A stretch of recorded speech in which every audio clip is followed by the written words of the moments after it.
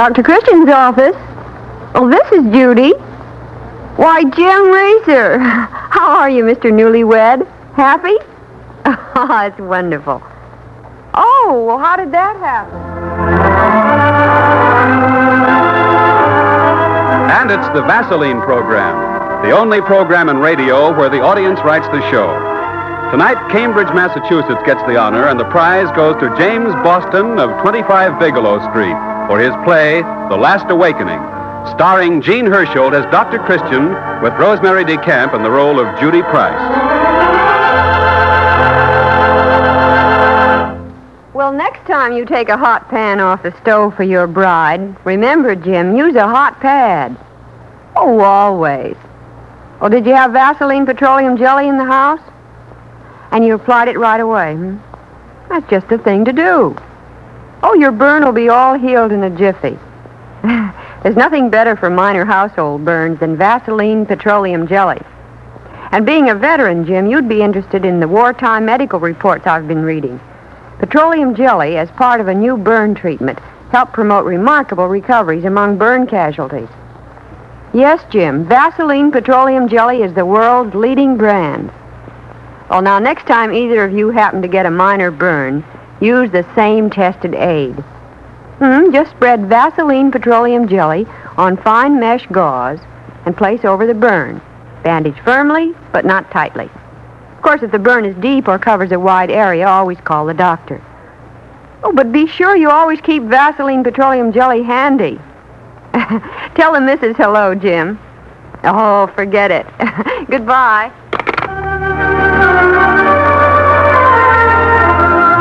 Now for the play, The Last Awakening. And for those who like chiller dillers, this is it. It's a gloomy Saturday afternoon in River's End. And over at the Excelsior Theater, the movie matinee is just concluding with homegoing movie patrons crowding up the aisles. But wait, who's that seated in the very last row? Dr. Christian, wake up. Wake up. It's time to go. What's that? Time to go. Uh, uh, time to go where, Judy? Time to go home, Dr. Christian. The show's over. The show. Oh, oh, oh, you mean it's over? Oh, Dr. Christian, if you're not a fine one. You escort a lady to the theater, and then just when things get exciting and the shooting starts, you fall asleep. Asleep? Why, Judy, I wasn't asleep. I. I was just concentrating with my eyes closed. Oh, I see. Well, I don't think you better concentrate quite so hard then, Dr. Christian. Makes you snore. All right, I guess I'll have to admit it since you caught me in the act. But uh, it just goes to show what a good patient I am when you play the doctor. well, I'm glad I did drag you here. A movie was just the tonic you needed. This is the first real rest you've had since the flood emergency last week. Yes, old man River certainly brought a flood of patients to our door. Ah, it's a relief to know he's rolling along smoothly again. Judy. Yes, Dr. Christian? Did you notice all those people down front there? Hmm? They haven't got up yet. They're still sitting in the seats. Why, yes, so they are. It's queer. There's so many of them. Oh, they must be staying for the next show. But it isn't continuous, Dr. Christian. There won't be another show until tonight. Not until tonight? No. Well, what can they be waiting for? We can't be sure from here, but I think. You think what, Judy? I think they're all asleep. Say, I think you're right. Yes, they are asleep. Look, there's old Luke Ellis down the first row. Completely relaxed and out of this world. Luke Ellis? Why, he was at your office only this morning, complaining about his insomnia. Said he hadn't had a wink of sleep for days. That just goes to show you the therapeutic powers of the theater. I think I'll go down and wake him up and congratulate him on his dramatic cure. But I don't like it, Dr. Christian. The way they're all slumped over in their seats. So still. Watch him now. Time to get up, Luke. Show's over. Hey, it's time to go home. He doesn't move, Dr. Christian. Oh, he will this time. It's morning, Luke. Time to get up and, uh, and take your sleeping tablets. Oh, Dr. Christian, he's fallen to the floor. Yes, Judy, quick. open his collar and rub his hands while I put my coat under his head. But he doesn't wake up. No, and I. I don't think he will. You don't mean he's. No, Judy, he's not dead, thank heavens. Didn't you notice something else? Something strange? What, Dr. Christian? When I shouted at Luke, didn't you notice? All these people here. None of them woke up either.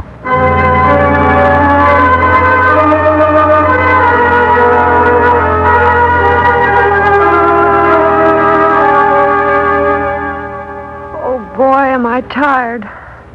What a nightmare. Every bed in the hospital is full, laying the patients out on the floor on blankets. What is this mysterious, insidious thing that's striking them down?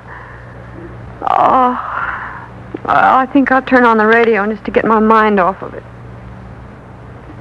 Of such vital importance to all our Rivers End listeners that we urge you to pay careful attention to the following message. A mysterious epidemic of sleeping sickness has just broken out in the town of Rivers End, scene of last week's heavy flood. It has been reported that several hundred people have already contracted this mystery malady, the first symptom of which is a strange and profound sleep from which the victim cannot be aroused. The outbreak was first reported early this evening when 84 patrons of the local movie theater were discovered asleep in their seats at the close of the matinee. Now, the strange and so far unidentified sickness is spreading rapidly. People are falling asleep by the score, at home, at work, and on the streets. All available medical aid is being rushed to the scene, and a thorough probe of the alarming situation is being undertaken under the personal direction of the famous Dr. Christian. Your Rivers End station will continue to bring you further reports on this mysterious epidemic as soon as they're on.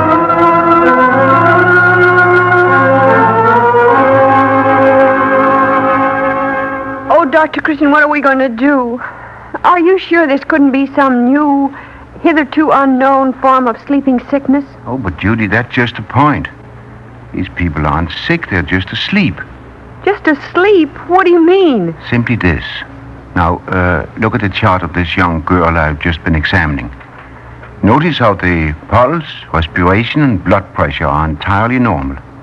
The circulation and heart action regular. There's absolutely no indication of any toxic or pathological condition. But, Dr. Christian, it, it can't be a natural sleep. No, it can't be. Or we should have been able to arouse them. It's just as though they were in some sort of trance, a state of mass hypnosis. Mass hypnosis. Yes, Judy. A condition beyond the scope of any practical medical diagnosis. Oh, Professor Grames, the doctor of Oriental psychology up at State College, spoke over the radio tonight about what's happened here. And I heard part of what he said. In his opinion, the people of River's End are bewitched. Bewitched? Yes. He told how he'd seen such things happen before in the Orient. Whole villages put under the spell of some sinister enchantment. The people bewitched, seized suddenly by this, this same strange sleep. I see. A most intriguing theory. Well, too bad I'm not up on my witchcraft or voodoo. I might put away my stethoscope and proceed to cast off the spell by counter magic. What if they shouldn't wake up at all, Dr. Christian? What do you mean, Judy? Oh, nothing. I. Only I was just thinking of something else. Something else that Professor Graham said. What? Oh, I know it's mad, but he predicted that if his theory were right, the people of River's End might not wake up for years.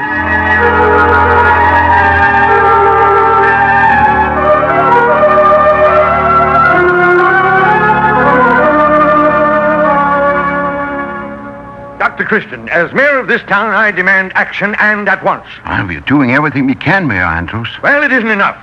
You've got to do more, or River's End will become a ghost town overnight. Business has become a complete standstill. Every factory and industry in town is shut down, and the people are huddling in their homes, watching each other see who falls asleep next. I know all that, and we'll get control of this thing in the end. In the end, do you realize there's an election coming up in three days? Oh, so that's it. A fine fiasco that will be, huh? After the way I've campaigned. What chance have I got of being re-elected if there's nobody left awake on election day to go to the polls? Hmm. Well, perhaps your campaign speeches had something to do with it, Mayor. Dr. Christian, are you sure that this epidemic hasn't got something to do with the flood? I've been fearing all along that some outbreak like this might occur. You mean the possibility of flood pollution? Yes, Dr. Christian. Maybe the uh, bacterium germ thing or whatever it is that's causing all this came from the water. I thought of that, Mayor Andrews, first thing. That's why I sent water samples to the state pathologist this afternoon. Uh, here's the report I've just received on his analysis. Hmm. A Lot of and figures. Most impressive. But, uh, what does it mean? Um, what I'd like to know is, did we he find anything in the water? No, Mayor Andrews. Oh, he did make a note, though, that the water contained a surprisingly high chlorine content. Well, uh, should have. After all the trouble I went through this morning, chlorinating it myself. You chlorinated it? Yes. The water commissioner is out, and with the whole department understaffed, I had to take over the job myself. Then, to make matters worse, the chlorine ran low, and it took me half the forenoon to get through a fresh supply from the sanitation department. Well, it must be quite an emergency when even the mayor has to pitch in and work. Work? Hm. I was down to the waterworks for three hours this morning, pouring chlorine into the mixing tanks. Well, you certainly did a thorough job of it. From the taste. Judy and I just can't drink it. Are you sure you knew what you were doing? Knew what I was doing? Huh. Dr. Christian, I might remind you that I was water commissioner of this town for seven years. Yes, I know, but in those days, Riversend got his water supply from the old oaken bucket. Oh, I'll answer, Dr. Christian. You keep right on with your work. I'm expecting a call from the governor, and this may be it. Very well, Mayor. Hello? Yes? Yes, this is Mayor Andrews speaking. What? What did you say? the whole town? No, no, you can't mean that. Just now? From the uh, um, state capital? Are you sure? Well, they can't do it. We're not dead.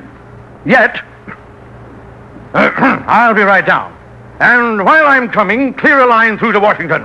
Um, to the White House. Yes, yes, uh, a person-to-person call. To the president. Well, Dr. Christian, they've done it. Done what? Quarantined us. The whole town of Rivers End has just been put under airtight quarantine. Quarantine? Yes, they've got armed troops posted on every road, and no one will be permitted to enter or leave Rivers End under any circumstances. But, Mayor Andrews, they can't do that. We'll be isolated. We've got to have supplies from the outside, necessities, food and medicine. I know, Dr. Christian, and we'll probably get them as long as there's any of us left awake to pick them up. They just promised they'd send us everything we need by parachute.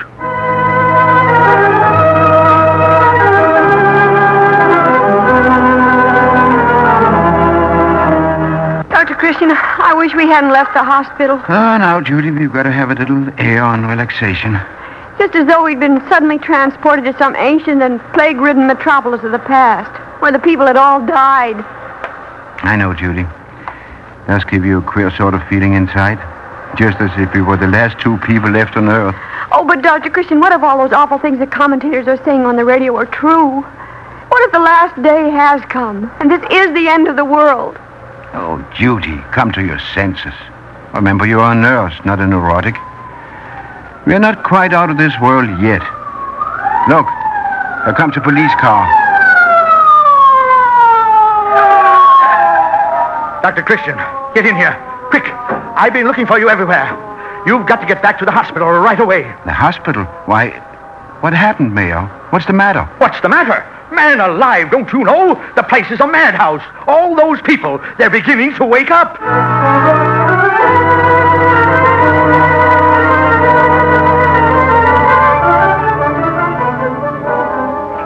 Judy, you see that every patient gets plenty of strong black coffee as soon as he comes to. Yes, And report to me immediately uh, after any change in their condition. I will, Dr. Christian, right away. Well, Dr. Christian, have you finally found out what it's all about? What put all those people to sleep and what woke them up again so suddenly? No, Mayor, it's still a mystery. I'll say it is. Hmm. Whole town passes out on its feet, and nobody can discover any logical reason why. I feel sure I could solve it if I could only discover one clue. Maybe they were drugged. I thought of that. But all our tests for the usual sleep-producing agents revealed nothing. No, it doesn't make sense anyway. No one could have got at whatever all those people drank at home and given them knockout drops. The idea just doesn't hold water. Knockout drops. Hold water. May Mayor Andrews, that's the clue I've been looking for. Of course that must be it. Oh, why didn't I think of it before? That's the only way it could have happened to so many people. Dr. Christian, what are you talking about? You'll find out, Your Honor, soon enough. But get your hat now while I call Judy. We are going to the waterworks. The waterworks? Dr. Christian, do you know what you're saying? What has the waterworks got to do with all this? Oh, everything, Mayor Andrews, everything. That's where we are going to solve our mystery. To decipher the strange riddle of the sleeping people of River's End. And, Mayor, as the town's first citizen, you'd better prepare yourself for a shock. A shock? Yes, Mayor. Because if my deductions prove correct, it was you yourself who put the people of River's End to sleep.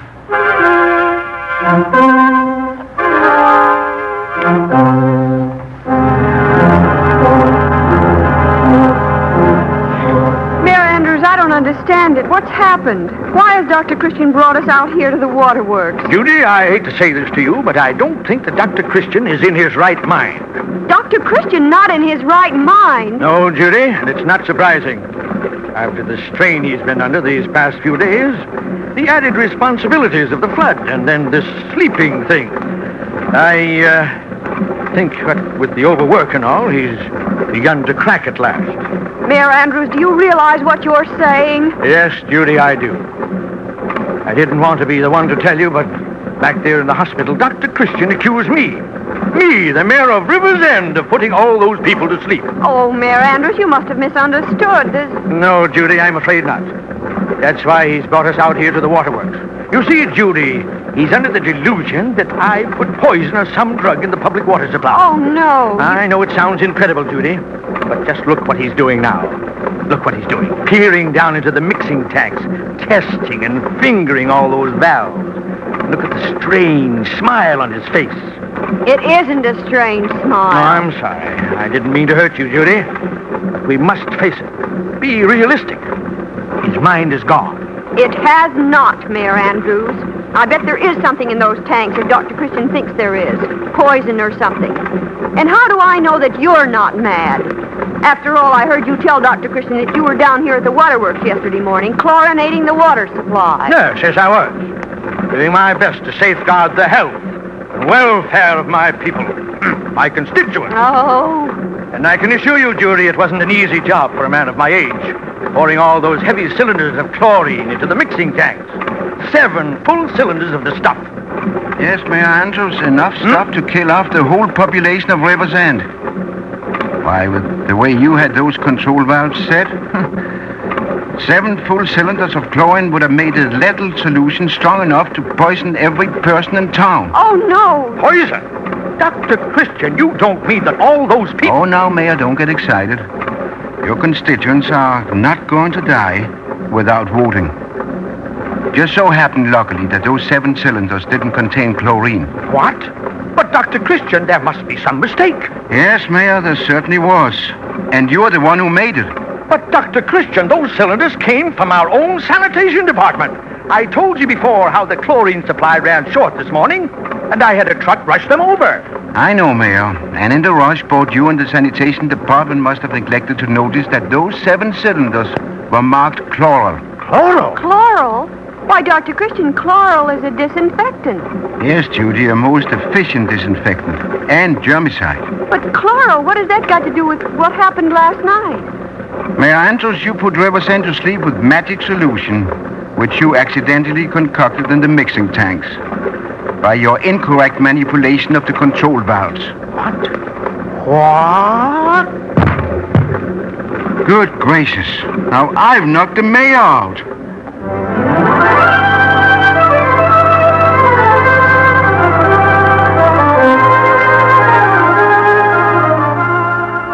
If you don't explain so that I can understand, I, well, I'll die of suspense. What did Mayor Andrews do to the water?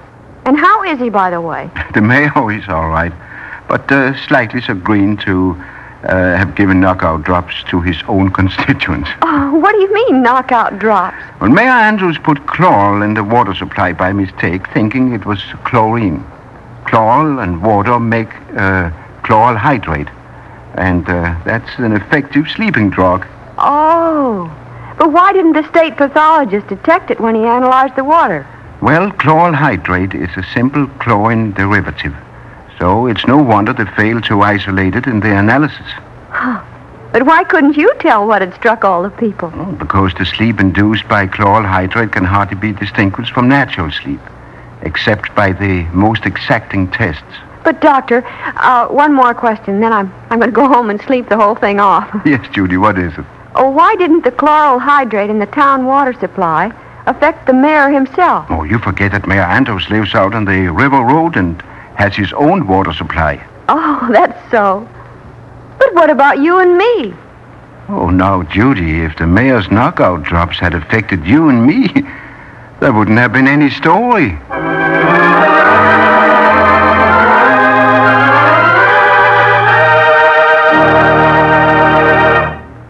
And the curtain descends on another Dr. Christian Prize play with our star, Jean Hersholt, waiting to greet you. Man, are you bothered by dry scalp? If you have dry, unruly hair, if loose dandruff begins to appear, if your scalp is tight and itchy, remember these are signs of dry scalp. Start using Vaseline Hair Tonic today. Combat dry scalp. Check it easily, quickly, effectively. Vaseline Hair Tonic actually supplements natural scalp oils, contains no alcohol or other drying ingredients. Just five drops a day applied with comb or directly on the hair checks dry scalp, tames stubborn hair, keeps it perfectly groomed. Also, a brisk Vaseline hair tonic massage before each shampoo loosens dandruff, stops itchy tightness. Vaseline hair tonic gives double care, both scalp and hair, checks dry scalp, leaves your hair neat, natural looking, attractive. Remember, more bottles of Vaseline hair tonic are sold today than of any other hair tonic in America. Buy, try Vaseline hair tonic. Vaseline hair tonic is one of the many Vaseline brand products made by the Chesebrough Manufacturing Company, owners of the trademark Vaseline. And now here is Jean Hersholt.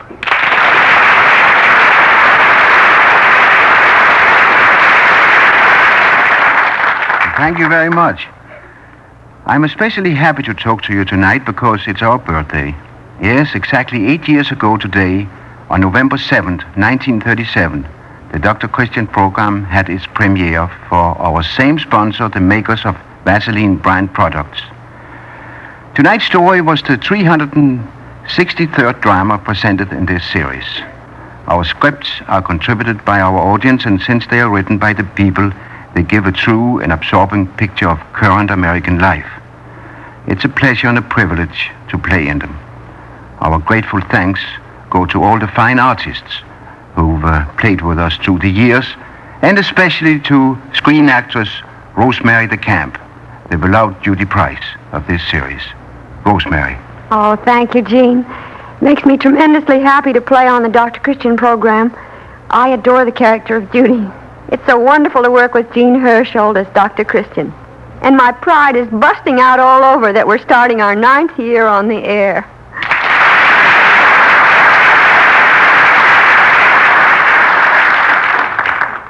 Let us not forget also that this week is radio's 25th anniversary, and the industry, the sponsors, and the artists are equally deserving of our appreciation for the tremendous job they've done in that time.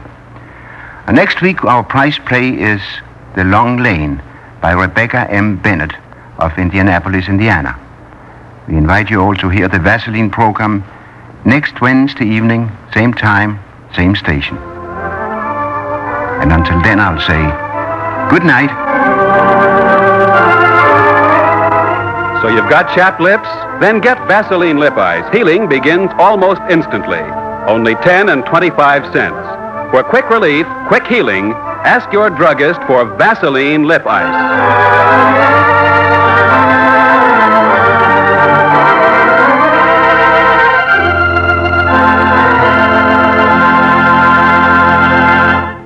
Don't fail to hear next week's Dr. Christian Prize play, The Long Lane. It's a story you won't want to miss. Bob Anderson speaking. This is CBS, the Columbia Broadcasting System.